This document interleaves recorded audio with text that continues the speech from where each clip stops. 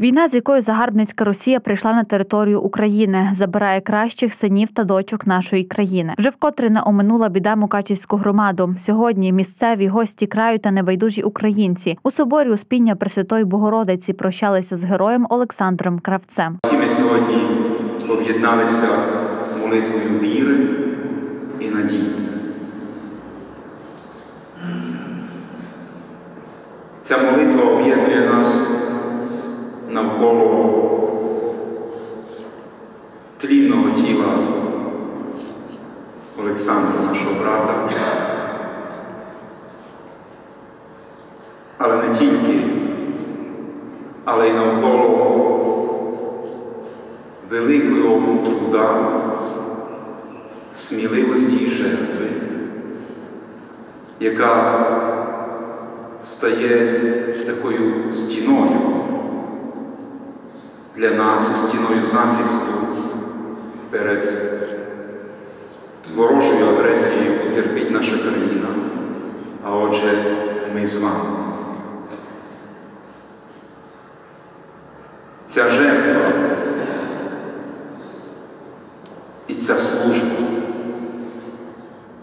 має нам нагадувати про те, що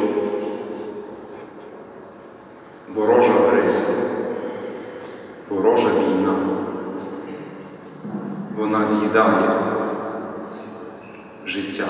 Солдат Кравець Олександр Васильович народився 20 червня 1981 року. Проживав у місті Мукачево, працював разом з дружиною, ростив та виховував дітей, будував плани на майбутнє та втілював їх у реальність. Олександр не міг залишатися вдома, коли окупанти нещадно нищили українську землю. Тому Закарпатець поповнив лави ЗСУ та став військовослужбовцем військової частини 3017 Національної гвардії України. Біля тебе є Господь і Спаситель наш Ісус Христос.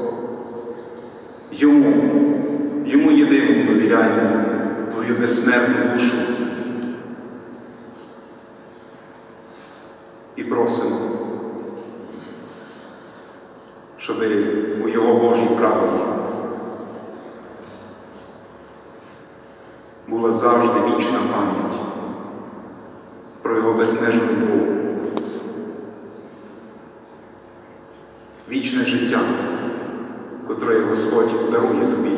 Олександр разом з побратимами мужньо боронив державу, вміло виконував бойові завдання та звільняв рідну землю від ворогів. Та під час одного з боїв чоловік втратив життя. Трапилося це 19 лютого 2024 року. Сьогодні кожен у соборі молиться, аби герой знайшов спокій на небесах. Знак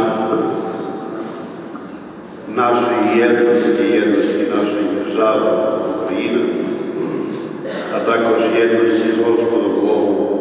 Прийдіть і поцілуємо. Олександр Кравець понад усе мріяв, аби його діти, дружина та батьки жили у вільній та мирній державі. За це він і боровся, за це і загинув. Висловлюємо щирі співчуття родині захисника. Дякуємо Олександру за самовіддану боротьбу, за захист та відданість батьківщині, світла пам'ять та вічна шана.